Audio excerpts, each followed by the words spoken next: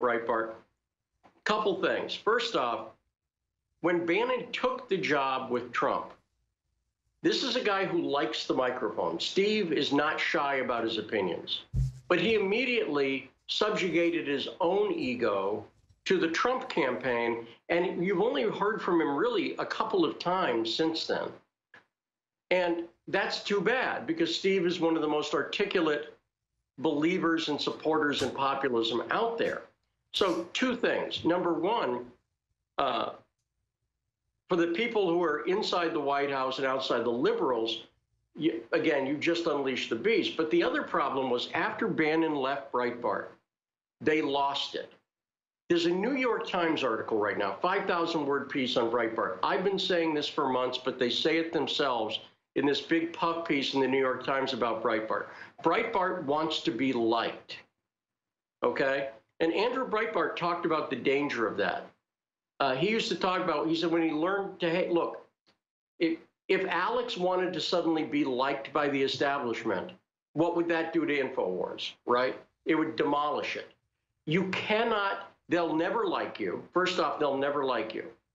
The only way they'll like you if you're a complete traitor.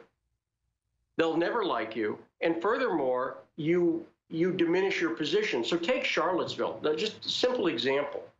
We have the moral high ground. The leftists in the media don't have the moral high ground. Our position is very straightforward. Owen, let me, I'll ask you, just answer without equivocation. Do you oppose political violence? Absolutely. Right. That was easy for you to say, right? It's easy for me to say. They can't say it. The leftist can't say it.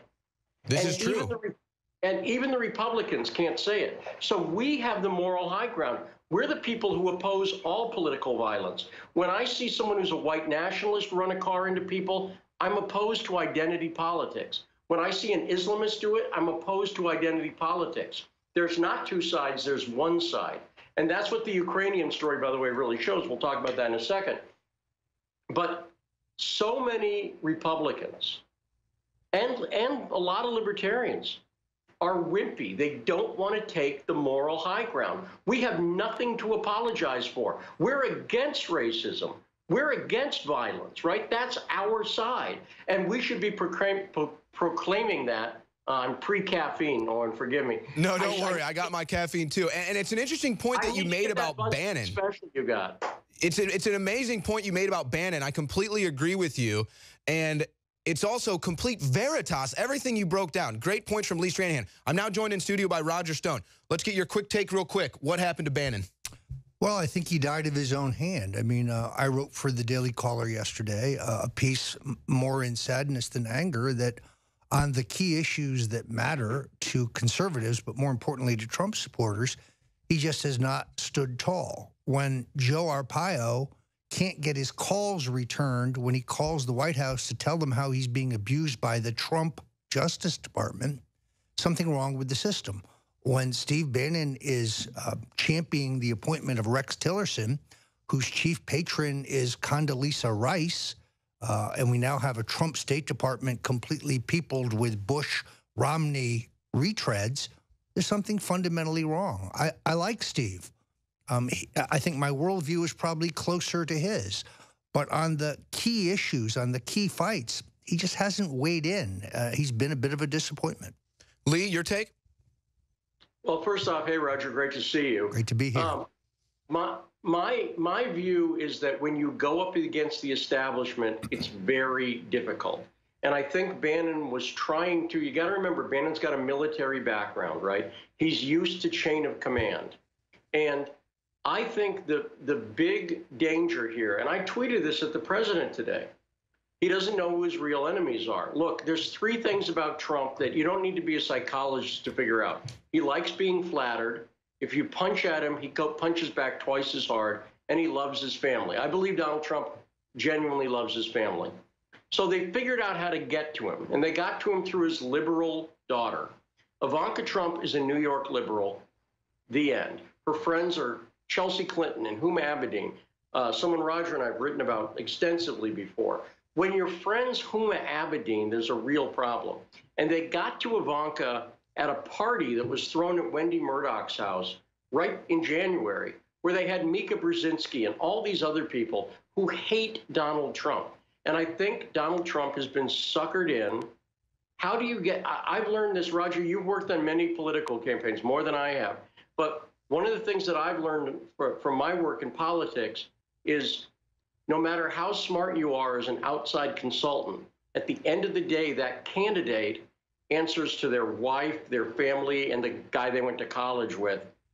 And it's so frustrating, and I'm sure you've seen this, Roger, where you give good advice to a candidate and they ignore it because their wife or their daughter or their friend who they grew up with is like, hey, I don't know if you really want to take that position.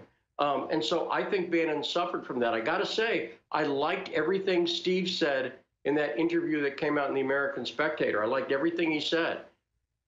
I don't. I don't disagree with that, and I wouldn't expect him to have a, a perfect batting record. The problem is that many, many times he just never went to bat. So uh, his supporters out today saying, "Well, now the White House is completely populated with New York Democrats." True. That's because Steve wouldn't help anybody else who was for Donald Trump get hired in the in the Trump administration. Now to suddenly complain that you're alone is like throwing, murdering your parents and then throwing yourself on the mercy of the court because you're an orphan. Uh, well, in, in, this case, he, he, he did not help any allies, not in the departments, not in the cabinet jobs, not in the White House. There aren't many Trump supporters in the Trump administration. Find men like uh, David Urban or Ed Martin couldn't get a hand up to, to try to get into the administration to help. These are experienced people. These aren't lightweights. These are political heavyweights, people who played a key role in the election of Donald Trump. Couldn't get the time of day from Steve Bannon. Yeah, no, I look, I've said that I, I have not personally heard from Steve since June 27th. When I had a medical issue, I reached out to Steve, told him about it, and he he sent back a note on that. Uh, I know other people who've said that, well, I, you, you may know some of them too, Roger, that Steve wants to avoid this Russia issue. And I work for Sputnik. I host a radio show on Sputnik because they let me say what I want. They don't restrict me in any way, and it's a great platform. Uh, uh, but I know for a fact, I'm sure it's worrisome. It's worrisome to some people on the right. There are other people on the right, not just Steve, who are like, oh, well, I don't want to talk to Lee because I don't want to get caught up in this Russia thing. And as I pointed out, this whole Russia story is a lie. Uh, you and I were talking about it a year ago before I ever had an inkling I'd work for Sputnik. Well, My story- Andy, if, you're going to limit yourself to talking uh, only, to, uh, if you can't talk to people who are under investigation in the Russia matter, then you can't talk to the President of the United States. The investigation's yeah. a fraud. It's been a fraud from the beginning. That's the right. Russian collusion delusion. One of the main reasons why I wanted to get you on today is because there was collusion with a foreign country. There was interference in our elections. There was a presidential candidate working with a foreign power to affect the outcome of the election. Unfortunately for the left, it's not Russia, it's Ukraine. Uh, and um, uh, the whole Manafort drama, which we need to get into today backs into this. And you told me some amazing things the other day that I think our our listeners need to learn about the level intensity of the Ukrainian effort to subvert our election. It's amazing. Lee Stranahan breaks the news of the Ukrainian Democrat collusion, and then all of a sudden the Russia narrative just disappears from the mainstream news every day. Interesting. We'll be right back with Roger Stone and Lee Stranahan. Owen Schroyer, Roger Stone, Lee Stranahan, Jedi Council here. We're going to get into the real collusion between the Democrats and Hillary Clinton. Lee Stranahan has been reporting on that. Roger wants to get into some of those details. I pitch it now to Roger Stone. Uh, Lee, uh, when Paul Manafort joined the Trump campaign, um, uh, really at the end of a string of primaries, uh, as we were moving towards the convention, it became very clear that the Republican establishment both could and would try to steal the nomination from the presumptive nominee. Because the Republican. National Committee uh, convention is governed by not federal law or state law, by its own rules, we have a historical precedent. In 1952, the nomination was stolen from Robert Taft and awarded to General Dwight D. Eisenhower. So the hire of Manafort um, struck fear in the hearts not only of the establishment Republicans, but more so Hillary and her friends went into overdrive looking for dirt. And I think when they couldn't find any, they sought to manufacture some because Manafort's reputation as a political gunfighter was very solid. This is a guy who knows how to run a national campaign. And to his credit, I think he was uh, seminal in Trump's nomination in preparation for the general election in terms of building a structure that could function during a general election campaign. Uh, at the time that the news broke regarding supposedly illicit payments to Manafort from the uh, a democratically elected or democratically recognized political party in Ukraine, I immediately smelled a rat. Uh, and this became a concerted effort to drive Manafort out of the Trump campaign, um, really at the behest of the Clinton Democrats who feared his leadership and his assistance to Trump. You have now done yeoman research on the backstory of the entire Ukrainian effort to affect the American elections, and that's what I wanted to talk about today. What happened well, here, Lee? It's real significant, and you and a, a couple things. I was at the press conference where Ted Cruz in Texas basically announced that he was going to fight this. He realized, remember, there was a point in the election where he realized he couldn't win on the popular vote, so he started pursuing a delegate strategy, right? And that's the point they brought Manafort in, and he was a great hire. Now, as you mentioned, in mid August, stories started to come out in the New York Times, Washington Post, Reuters, every major news outlet. They found a secret ledger in Ukraine, and a prosecutor says Paul Manafort was receiving cash payments in this secret ledger, also called a black ledger, in the Ukraine. Okay. Now let's cut Let's cut to June 27th of this year, after the election. The same prosecutor who announced that secret ledger comes out and says, lo and behold, oops, no, Manafort's name is not in it. There were no cash payments. That's what he said. Now, how many media outlets do you think reported that? The Times, the nobody, nobody. Bloomberg is the only people I found who reported it. CNN mentioned it literally at the bottom paragraph, the last paragraph of the story attacking Manafort. Okay? Now, anybody who looks into this, now, by the way, the other thing you would assume from this Trump Russia narrative is that Paul Manafort, he's Russia connected, he's Russia connected.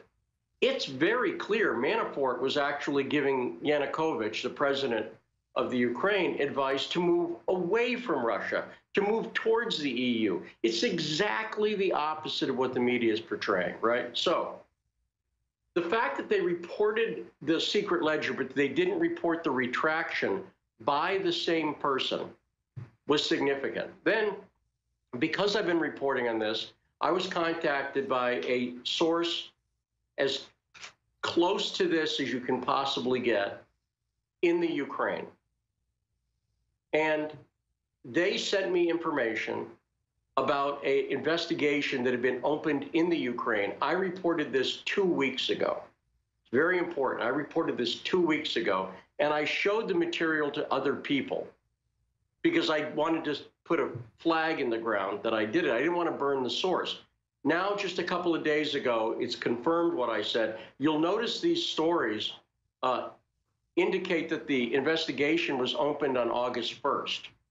Okay, this the story came out in Politico a couple days ago. This story here and the caller one, they say that parliament members demanding more information. If you dig down into the story, you'll see the investigation was actually started on August 1st. So that takes us to that. This is election interference. It was a false story. They've now retracted it. And the rest of the story involves how the DNC was directly involved, I think illegally, in doing this. So the Clintons get to collude with Ukraine. The Clintons get to try to impact elections all around the world. The Clintons get to have all of this hush money and all these foundations, but it's Trump. Trump's not allowed to say anything. Trump's not allowed to do anything. Trump is the one colluding with Russia, even though there's no evidence. So the Clintons literally get to get away with everything, colluding with Russia, colluding with Ukraine, uh, Hillary Clinton gets to say uh, black people are predators and need to be brought to heel. Clintons just get away with everything. And then they use their attack dogs in the mainstream media to go after Trump. Now, Lee Stranahan, we've got seven minutes left with you. Let's get a boil down of everything we were just getting into with Roger Stone. Well, yeah, sure. The, the big thing here to look at, there was a Politico article back in January that started to outline this. And that Politico article points out that there's a, a DNC operative named Alexandra Chalupa. She worked in the Clinton White House. She was a DNC operative from 2004 to uh, 2016. And she's the one who met with the Ukrainians. Not only that, she also met with a, a, a group of journalists, Ukrainian journalists, at something called the uh, Open World Leadership Center. This is significant because this is not legal. The Open World Leadership Center is a branch, it's part of the Library of Congress. It's supposed to, by statute, be nonpartisan.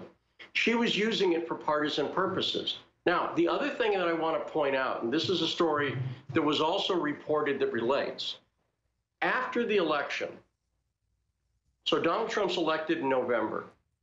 Alexandra Chalupa works with a guy named Brett Kimberlin. Brett Kimberlin's a convicted bomber. He bombed, a lit off five or six bombs, I forget the exact number, in Indiana, Indiana uh, in the late 70s, early 80s, to cover up an investigation into a murder he was being investigated for. So he gets, he goes into prison, he gets out of prison, and he becomes a Democrat activist. He becomes a liberal activist. He starts a group called Justice Through Music Project. He starts a group called uh, uh, Velvet Revolution, okay? And he does a lot of work in Ukraine when he gets out of business. He eventually marries someone who's Ukrainian, who he met when he was four, when she was 14, by the way. I should point that out as well. Why do I mention this guy? Because Alexander Chalupa, the DNC operative, used Brett Kimberlin as the bag man to pay a foreign national to fly to this country and to meet with Democrat leaders where they discussed how to keep Trump from taking office. Now, this was reported later, ironically enough, by BuzzFeed. They didn't mention Chalupa's name, but they did mention uh, all the events. And then the Daily Caller uh, followed up and said it was Alexandra Chalupa. I have subsequently interviewed witnesses who confirm every aspect of this story. The Democrats are, in my opinion, clearly money laundering here, and an investigation needs to be called. Now, by the way, the two guys to watch on this are Chuck Grassley and mm. Steve King, both from Iowa. Uh, Senate Judiciary point, Committee. Well, yeah, yeah, and, and Grassley's pointed out the Ukrainian connection, and so has King. This is a story, and I'll put it like this: you just showed Politico said the U Ukrainian government is looking into DNC collusion. Try to Google that. Anybody use Google, use DuckDuckGo.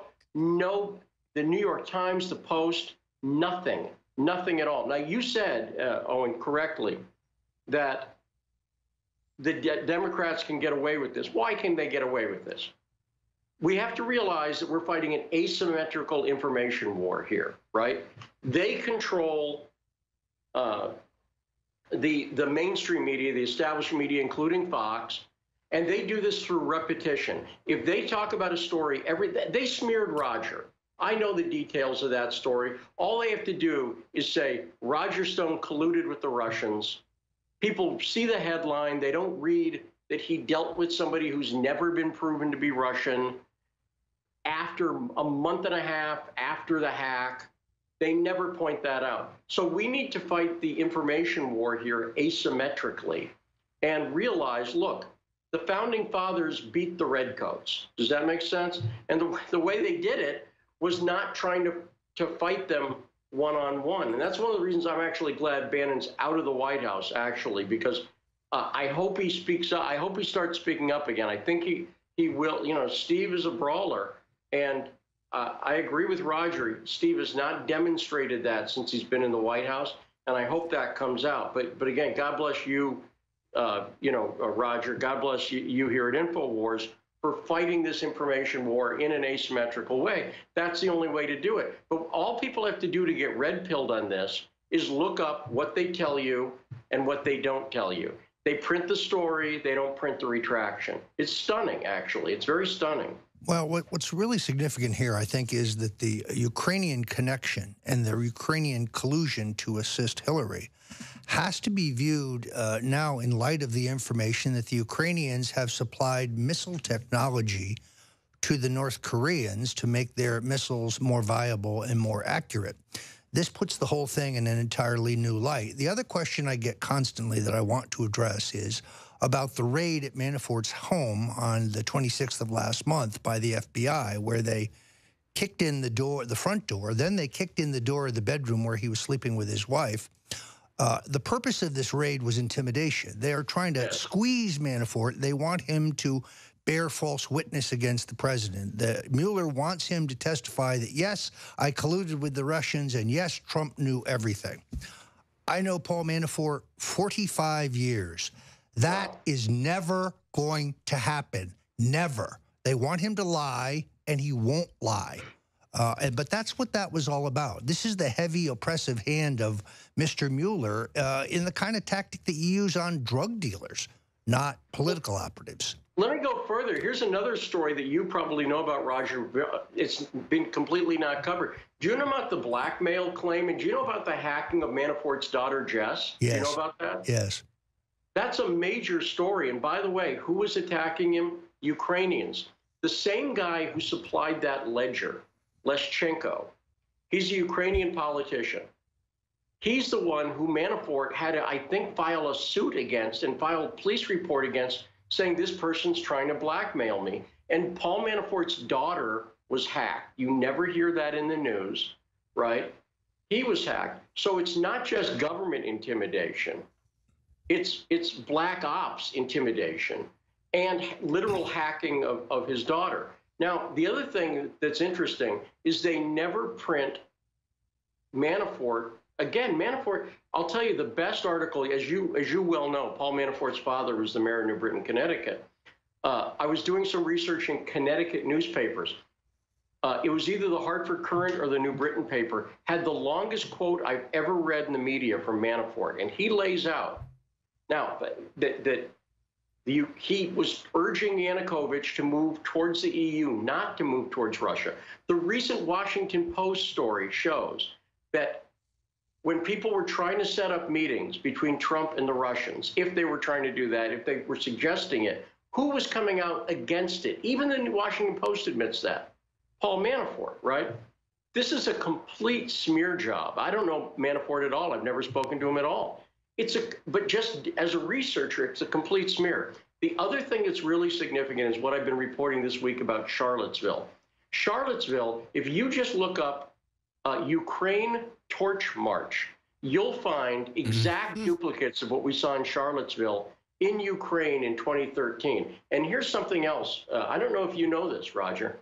David Duke, the white supremacist who was at Charlottesville, he is a doctorate, right? He calls himself Dr. David Duke. Do you have any idea where David Duke, you, if you had a guess, where, what country he might have gotten that from? The island of Island State University? No, no, it's Ukraine. But oh. guess. It's Ukraine. Look it up. Just look up David Duke, Ukraine. He's got extensive connections. What happened in the Ukrainian coup is the United States, Hillary Clinton, Barack Obama, John McCain, the CIA, and the media, we overthrew and all funded by George Soros. We overthrew the government of the Ukraine and put in literal neo Nazis. Anyone can look up SVO, B as in boy, ODA, Svoboda. Svoboda, there you go, right there. That's from David Duke's own site, bragging about his Ukrainian connections. So when I started to notice this, and I started to notice, could you go back to the picture of the torch march for a second? Go back to the last picture.